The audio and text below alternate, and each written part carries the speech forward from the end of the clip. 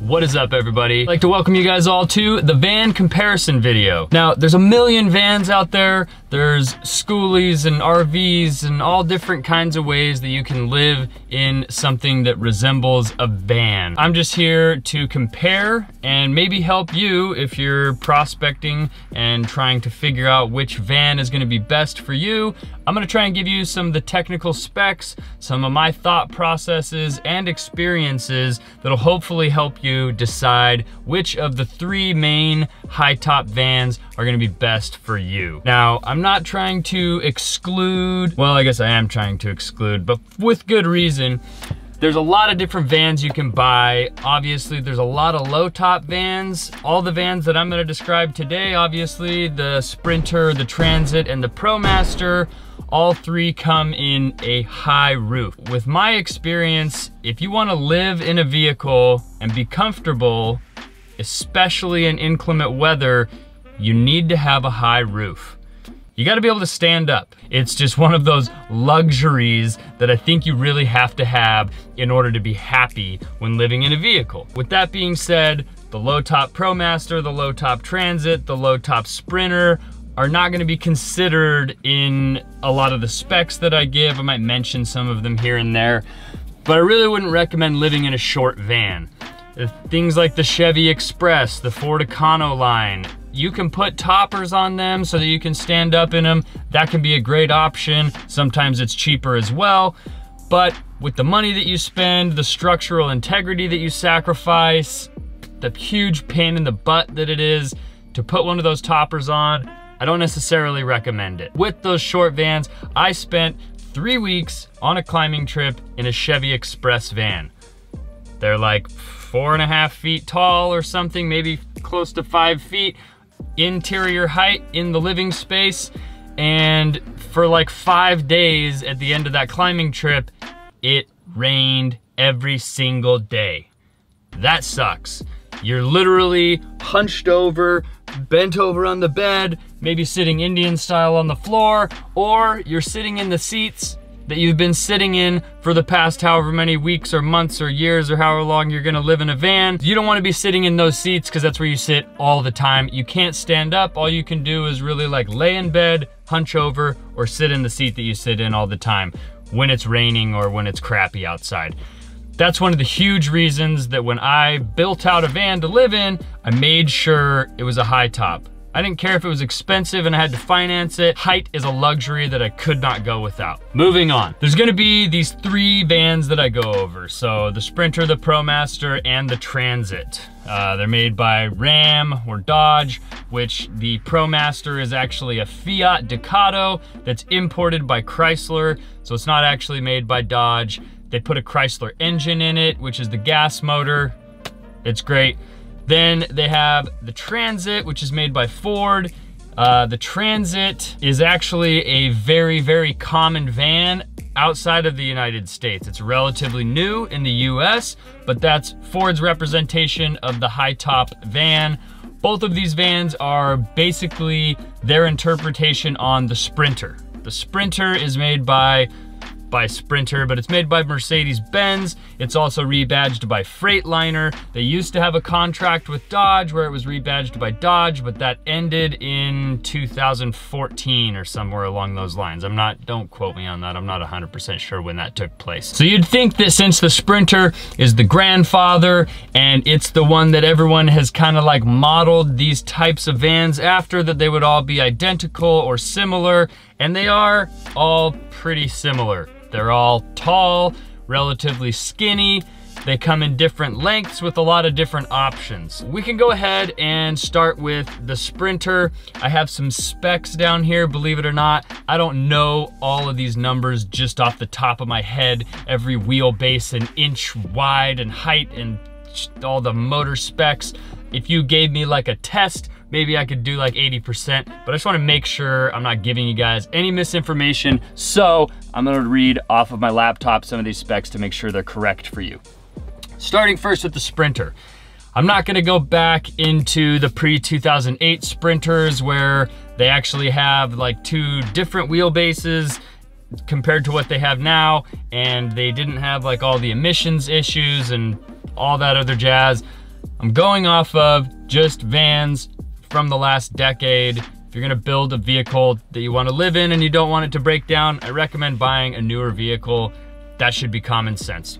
Anyways, some people wanna buy something that's cheaper and fix it when it breaks. You could do that too. I don't recommend it. I like to buy things that are newer. Sometimes they come with a warranty. I bought both of my uh, ProMaster vans brand new from the factory. Then if something breaks, I don't have to worry about it. I just go to the dealership and they have to fix it because it's under warranty. That, that gives me peace of mind. Back to the Sprinter. They come in two different wheelbases. They come in the 144 inch wheelbase. For those of you that don't know at this point in the video, a wheelbase is how far the front tire at the center is from the back tire at the center. The longer your wheelbase, the larger your turning radius has to be. So 144 inches is the short Sprinter, 144 inch wheelbase. The living space in a 144 inch wheelbase Sprinter is 128 inches long, so a tad over 10 feet. That is what you get.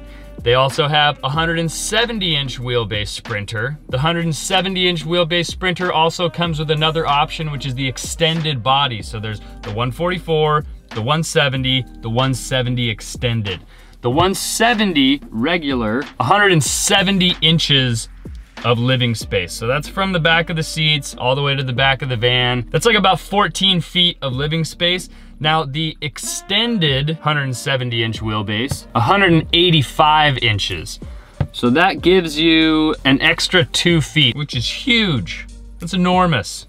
That's that, that's almost a bus. If you have a 170 extended, you don't fit in a parking space. I know this because it's a lot longer than our ProMaster, and our ProMaster barely, pretty much doesn't fit in a parking space all the way, but I get away with it. The 170 extended, you're a bus. You're like almost out of the van category. In my mind, you are so long. It's probably like a huge pain to parallel park, to drive in tight cities, things like that. That's something you wanna keep in mind. The Sprinter's interior height is about six foot three inches, according to the specs sheet that I've got pulled up on the internet and their interior width is 69 inches. So that's something to keep in mind. 69 inch wide, six foot, three inches tall, and then the three different lengths that I just talked about. So I'm gonna keep going into the specs of the Transit and then the specs of the ProMaster. Then I'm gonna come back and talk about the different motors that all three offer. Then I'm gonna come back and talk about what I think are maybe some of the pros and cons of the three different vans to kind of help you decide. Moving on to the Transit. The Transit is the one that I absolutely know the least about, so I'm probably gonna have to read the most about it, so bear with me. The Transit, just like the ProMaster and the Sprinter, also come in two different wheelbases, one of those wheelbases having an extended body. That's also something you're gonna see. That's something you're gonna see with all three brands. Two wheelbases, three body sizes. So the first Transit comes with a 130 inch wheelbase.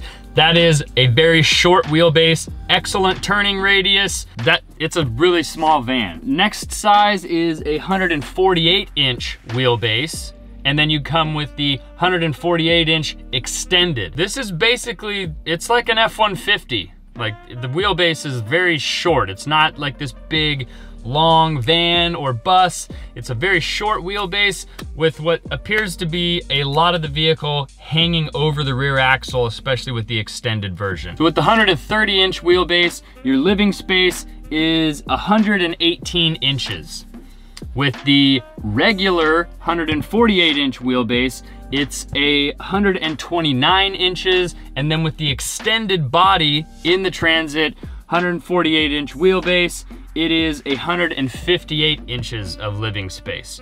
So when you compare 158 inches of living space in the Transit is as big as it gets, the 170 non-extended body Sprinter is 170 inches. So the medium-sized Sprinter is longer than the biggest Transit that they make. The interior width of the Transit is 69 inches, exactly like the Sprinter. This is one difference though. If you're a very tall person, this could be a huge deciding factor for you. The Transit comes in three different heights. There's not just a low top and a high top, there's a low roof, a medium roof, and a high roof. Four foot eight, Nobody's gonna stand up in there. That's basically the low top. Then you can get one that is five foot 11. If you're not over six feet, or maybe you're five nine or you're 5'10", no one else that you're gonna live in the van with is taller than that, maybe get the medium roof. It probably gets better gas mileage because it's shorter. You don't need all that extra space. Go for the medium roof. If you're a tall person, you can get the high roof or like the mega high roof. It is six foot eight inches. That's enormous. You can fit a full NBA player. Six foot eight inches is huge. I could probably, I could jump up and down like six inches inside that van. That is enormous. That's a huge plus for the Transit. All right, I already went over the 69 inch width for the Transit. Those are the three interior heights. Now we're gonna move on to the ProMaster. All right, the Ram ProMaster. Everybody thinks it's a Dodge. Ram is a Dodge. They're basically a separate company, but it's a, it's a Dodge Ram ProMaster, or it's a Ram ProMaster, or it's a Fiat Ducato, or it's a Peugeot Boxer or something. There's or a Renault some uh, there's like 10 different brands in the world that rebadge this. So if you see it in Europe, it's gonna be a handful of different names. In America, it's the Ram ProMaster, also in Canada. Anyways, it is different from the other two vans in my perspective. Obviously, I own one, so take my opinion for what it may be. The Ram ProMaster is a big minivan. Front wheel drive V6, I mean, you look at the shape of it, you're like, wow, that looks like a giant minivan. It essentially is. There's pros and cons that come with that. We're gonna get into those later. I'm trying to stick to schedule and I'm talking about the sizes of the van. It comes in a 136 inch wheelbase. That is the regular wheelbase, has a great turning radius. It's slightly longer than the smallest Transit. Then you have 159 inch wheelbase. The 159 inch wheelbase also comes with an extended body. So those are the three different sizes. The 136 inch wheelbase interior living space is 112 inches, pretty small. Then you're gonna come, the 159 inch wheelbase ProMaster comes with a 132 inch living space. Then the 159 inch wheelbase extended body has 146 inches of living space, which is pretty huge, but it's not monstrous. If you've been keeping track or you've been writing these numbers down, or maybe you're just really good with numbers and you've remembered all these, the extended ProMaster is actually the smallest of all the extended vans or the shortest of all the extended vans. That's probably why when people ask us, is your van too big? It's the extended model. Do you have trouble finding parking? Is it like driving a bus? Not really, it's like driving a long truck, I guess. It's also, like I just said, the shortest of all the extended van. One of the huge benefits to having a ProMaster is the Transit and the Sprinter are both 69 inches wide. The ProMaster's interior width is 73 inches. So you get four inches of extra width, totally awesome. Then it has two interior heights. The low roof is five foot four inches. The high roof is six foot two inches. If you remember, that's one inch shorter than the Sprinter and like six inches shorter than the Transit. If you're six feet tall, the ProMaster works just fine. At six foot two, I've never had an issue. I'm six one. This is also going from the interior of the ribs. This isn't going from like the sheet metal. So after I built in a roof and whatnot, I don't have any issues with it. One of the other dimensions that I kind of want to go over is exterior height dimensions. With the high roof, we're gonna go over the different heights of the three vehicles. So say you wanna get the six foot eight interior height of the Transit, that comes with a price. The exterior height of the vehicle, 110 inches, which is like pretty freaking tall. The ProMaster comes in at 100 inches. It's actually the shortest of the high top bands, and I'll tell you why in a second. Then you're gonna have 108 inches is the Sprinter exterior height. The reason that the ProMaster is so short, even though it has the high top capabilities, is because it's front wheel drive. There's no need to send a drive line to a rear axle in the rear, so the actual living space and the body can be lower to the ground because there's no drive shaft that has to go through it. The Transit and the Sprinter both are rear wheel drive. They both have a drive shaft, so the body has to be higher up. Therefore, the top of the high roof has got to be way up in the air. You're talking about eight and 10 inches taller without even putting solar panels or anything like that on top of it, a roof vent, makes a huge deal. That's also one of the reasons that I really appreciate the ProMaster. Since there's no drive shaft and the body itself can be lower to the ground, the entire van is shorter, your center of gravity is also lower. Obviously, since the ProMaster's front wheel drive and it's a giant minivan, you're not gonna be doing a ton of off-roading, but if you do get into some hairy situations that are off-road and you're tilting to one side, probably the first one to tip over is gonna be the Transit. And that's because it's the tallest and the Sprinter will be short behind and the ProMaster with its lower center of gravity will most likely be the van to tip over last. That's important for me because we do try to go off on some dirt roads here and there. Sometimes they're kind of sketchy. Last thing you wanna do is tip your house on its side. That's gonna absolutely destroy your van. Moving on to motor options. All three vans come with multiple motor options. The Sprinter, as of the time I'm making this video, I've heard that they're gonna release a gas engine. I have no idea whether that's true or not. It could just be a rumor. They offer two different diesel engines. They are the BlueTEC diesel engine. There's a four cylinder and a six cylinder. They both get good gas mileage. They're both reliable. They both run forever. That's what everyone will tell you. Most of the people that I know that drive Sprinters have had issues with them that cost thousands and thousands and thousands of dollars. They can only be worked on by Sprinter mechanics you most of the time have to take them to a Mercedes dealership. They're a problematic vehicle that's really expensive to fix. Don't don't hate me, these are just the facts. Maybe it's my opinion, I don't know. Tear me up in the comments if you think sprinters are great and I'm an idiot. The ProMaster offers a V6 gas engine and a four cylinder diesel motor that is a Fiat motor that can only be worked on at the dealership. You run into the same problem with this diesel engine that you run into with the Sprinter. It also has a manual transmission that is electronically shifted by a computer. That is a very complicated thing for most people to understand. You're like, so it's an automatic transmission.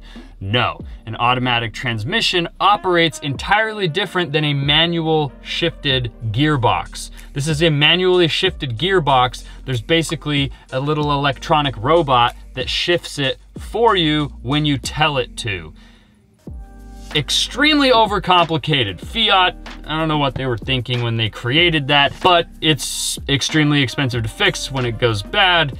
The same problem you run into with the Sprinter, like I said before. Now the Transit actually comes with the most options. You can get a gas V6, you can get the EcoBoost, which is a twin turboed gas V6, or you can get a Power Stroke inline five cylinder turbo diesel. Those options are awesome. We went with the gas V6 in the ProMaster because if it breaks, it's a Chrysler V6. It's a V6 that goes in a bunch of minivans. Of course parts are cheap. Of course everyone can work on it. That was a lot of my reasoning for going with the ProMaster because it's cheap to fix, it's easy to fix, and anybody can fix it. Now, the Transit, I've heard things that they're a little bit unreliable. They have sensor issues. They have this issue. They have that issue. I don't know. I've never owned one. I don't know anybody personally that's had a lot of issues. I've just had a lot of people tell me that have done a lot of research. I'm worried about the throttle body issue. I'm worried about this sensor issue. Maybe they have a bunch, bunch of issues that I don't know about. I do think if you're looking for a powerful drivetrain, the EcoBoost from the Ford Transit definitely takes the cake. It has way more torque, it has way more horsepower than any of the diesel engines. However, the Power Stroke Inline 5, I believe, is also a very good platform. Either of those engines would be a pretty cool option to have. If I had to build out a Transit, I would definitely go with the EcoBoost, and I think I would be happy with it. So like I mentioned before, the ProMaster is front wheel drive, which means there's really no option for you to get four wheel drive or all wheel drive. There's definitely not an option for you to add it because if you are mechanically inclined and you understand how transfer case would be added or worked, you can't do that with a front wheel drive vehicle. It's just not gonna happen. With the Sprinter, you do get four wheel drive options. So if you wanna spend the extra cash when you buy the Sprinter from the factory or you wanna find a used one that's four wheel drive, that makes an awesome overlanding vehicle. Really, there's nothing like having four-wheel drive. If you're stuck in the mountains, you kick it into four low, you pull yourself out, everything's great. That's invaluable in a lot of scenarios. The Transit only comes in rear wheel drive, but I have heard of a lot of shops that will convert it to a four wheel drive vehicle for you. However, it comes with a price tag of something like ten or $11,000. So if you're just like filthy rich and you wanna do that, more power to you, but most people building out a van are not gonna spend ten or $11,000 to make it four wheel drive. They're probably just gonna buy a Sprinter, and if four wheel drive is super important to you, the Sprinter is probably your only option. All right, so the next thing that I'm gonna move on to is gonna be pricing. So these are going to be the cheapest prices that you're gonna get for one of these three vans, and that means the shortest wheelbase, the lowest roof, no factory options, the base cargo van MSRP. So when looking at the Sprinter for 2019 Mercedes-Benz Sprinter, $39,790 is literally as cheap as you're going to get. Now, if you get the extended wheelbase with four-wheel drive and the high roof and all the factory options, it's gonna be like $60,000, maybe 58 or 59, I don't know, but it's gonna be in that range. Sprinters are gonna be sky high as far as price go. The next one you're gonna move on to, Ford Transit. 2019, this isn't the Connect because the Connect is obviously like a little tiny minivan thing. This is the Ford Transit, the actual big cargo van. It will be the shorter wheelbase. It will be the low roof, will not have any factory options. Base MSRP, $34,085. That is as cheap as it's gonna get. I know if you wanna do uh, EcoBoost or the turbo diesel and you wanna do the ultra high roof and get all the factory options and all the bells and whistles, it's gonna be 45 to $55,000. You're gonna be kinda in that same range. Next, moving on to the ProMaster. The ProMaster is gonna be the cheapest of the three, with the low roof and the short wheelbase and no factory options, base MSRP is gonna be $30,345. I know the MSRP on our van and it doesn't even have all the factory options and you could add the turbo diesel motor, which is a $5,000 upgrade. Our van's MSRP was like $43,000. You could easily pay $50,000 or MSRP could easily be $50,000 on a Ram ProMaster that had all the bells and whistles and the upgraded engine and whatever else. I don't recommend the diesel engine, like I mentioned before. Huge pain in the butt, expensive to fix, not really worth it. So this is kind of gonna conclude the video. I tried to give you guys as many specs and options and all the different things about the three different vans to try and help you decide. I'm not gonna go and say which van I think is the best or which van I think is the worst or what your application might be. That's for you to decide. I went with the Ram ProMaster in two of my vans because the gas mileage was good, the turning radius is great, it's got the low center of gravity, and it's the cheapest. And it's one of the easiest to build in because the walls are square. That's another thing that you really wanna keep in mind. At the end of the day, it's really gonna come down to what options you want the most. If you really wanna have the EcoBoost motor where you get a ton of power and you can drive it like a hot rod, but it's still your house, then maybe you wanna go with the Transit. There's one thing that the Mercedes-Benz Sprinter offers that none of the other vans offer besides four-wheel drive, and that is swag, being cool. I mean, everybody wants to drive a Mercedes. It's German engineering. It's awesome. It's beautiful. It's comfortable. Everybody wants it. There's one requirement that I have for buying a Mercedes-Benz Sprinter, and that is you have to be able to afford two Mercedes-Benz Sprinters because they break down a lot. They're really expensive to fix. Something that might be a minor fix that's a couple hundred dollars for another van or another type of vehicle is gonna cost you thousands of dollars at a Sprinter dealership to get fixed. That's just something you wanna keep in mind when you're prospecting which van to buy. I think that covers it all. If you guys have any other questions, please leave them down in the comments. I've had a really long, exciting time making this video. I did this all in one take. It's been probably an hour of me standing, yelling at the camera, so my voice is dry. I'm pretty much tired. I hope you guys enjoyed it. Please smash the like button if you found anything in the video useful, or if you just could tell that I'm trying really hard, you could hit the like button as well. I'd really appreciate it. Please subscribe to Trent and Allie, and I will see you guys on the next one. Thank you and goodbye.